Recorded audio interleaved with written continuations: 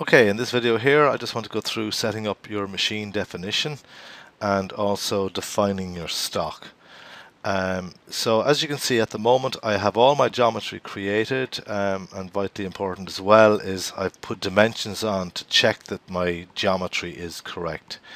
So at this stage I'm just going to go down to my levels tab and I have created the dimensions on a separate level so I'm going to turn them off for the moment just for clarity so that you can just basically see the geometry that we need for machining. To set your machine definition first of all if I go to the machine tab on the top um, and it's obviously mill. Now the first time when you go into Mastercam there may be no list in here so I need to go to manage list and I'm going to scroll down here and find the generic Haas 3-axis mill millimeters okay? So click on that and essentially what I'm doing is I'm adding this machine definition to the list okay?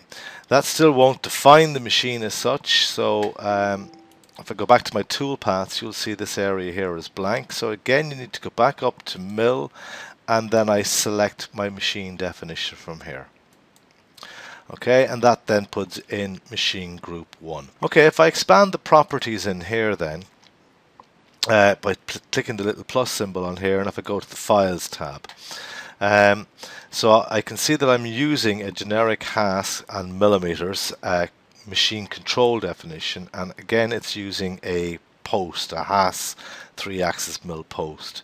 Um, we can look at these two libraries and operation libraries later on. Um, Likewise, I can go to tool settings here on the tab or I can hit this tab on here and I'm going to put in my program number. So just enter in your program number here and I often like to warn of duplicate tool numbers. And then I'm going to go to stock setup. The stock essentially is the raw material, the block if you like, that you're going to machine this component from. Um, and at the moment I'm just going to select uh, all entities. And by selecting all entities, what it does is it picks up the size of this outside rectangle, which is the largest portion on the screen. And you can see that that's 96 by 96.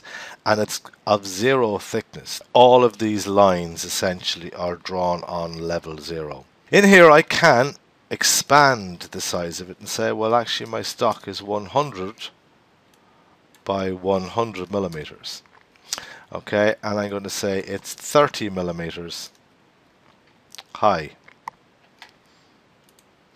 And what you can see now in Mastercam looking straight down this red dot dash line that you see here is the boundary basically of the stock. So it's the raw material that this part is going to be created from.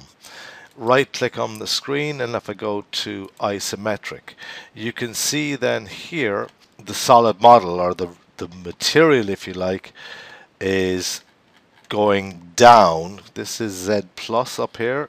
So the material is going down um, 30 millimeters. Now, when I actually want to create a face mill operation on here, first of all, so I actually want to make sure that the stock is slightly higher so that first of all I can see um, what I'm actually machining with the face mill. But in addition to that, I can also check to see if I'm colliding. Um, so Mastercam, we can do checks for collision. And a collision is essentially if we rapid into the job, not feed into the job, but if we rapid into the job.